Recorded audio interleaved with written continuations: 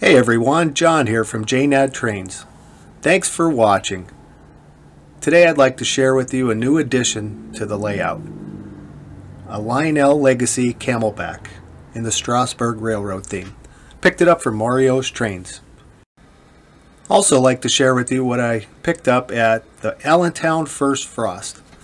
This MTH boxcar in the Susquehanna and this really cool 60 foot flat car with a Komatsu wheel loader. This was from Ralph's Trains. He had many varieties available. Lots of really nice detail. Definitely worth the price.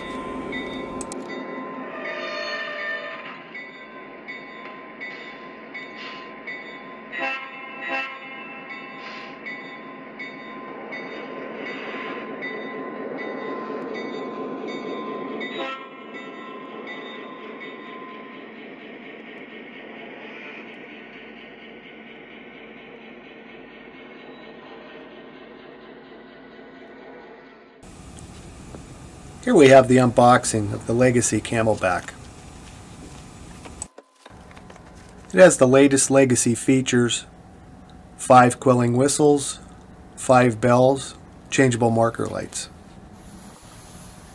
I chose the Strasburg Railroad because I've taken the kids there quite often and we've always had a great time.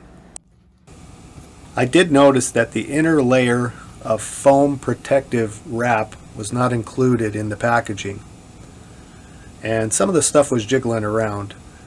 I was afraid something was damaged, but it wasn't. Seems like the packaging method was different, not the usual tight wrap. Everything was kind of loosely wrapped and moving around.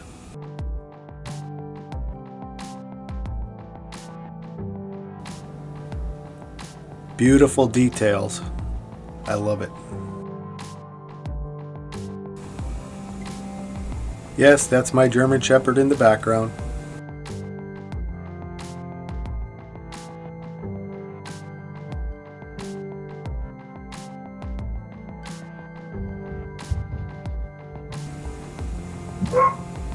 And that's not a dog whistle. It has really nice smoke output and whistle steam.